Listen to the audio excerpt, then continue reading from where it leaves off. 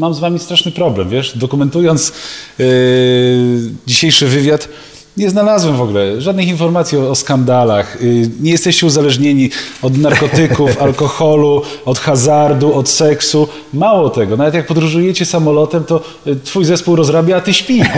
What the fuck? No no widocznie mm, udaje się ukryć pewne rzeczy i pewne skandale. Y, Dobrze to robić. Po prostu. Y, Wiesz co, my, my po prostu chyba już jesteśmy na takim etapie, jak, y, jak powinno być y, w, w przypadku takiego zespołu, że dokładnie wiemy o co nam chodzi.